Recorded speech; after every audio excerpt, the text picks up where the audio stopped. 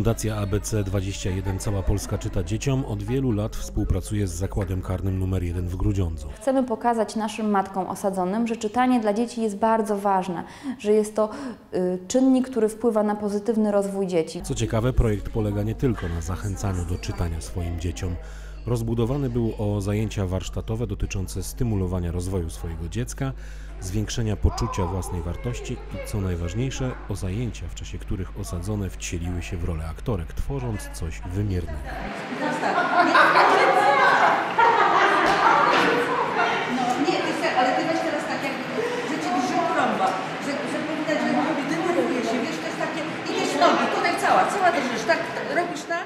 A więc spektakl. Spektakl, w którym biorą udział wszystkie uczestniczki programu i te, które potrafią pięknie śpiewać i recytować i poruszać się na scenie, ale także te, które twierdzą, że tego nie potrafią.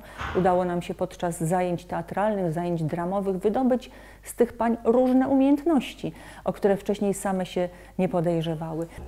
Moja rola to sroka.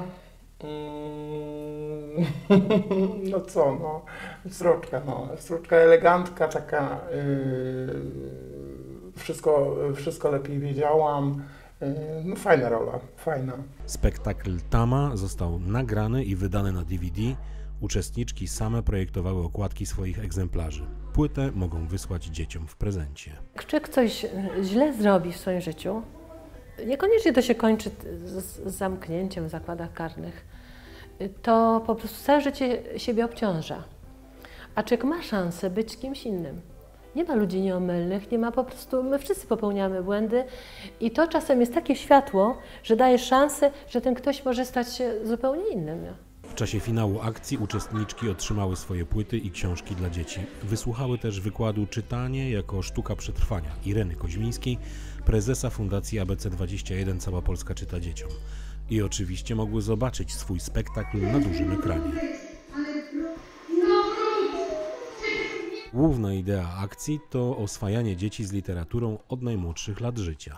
I my w tym powinniśmy im pomagać. Najpierw czytając, potem zachęcając do czytania, ale na pewno warto czytać przynajmniej do 12 roku życia dziecka.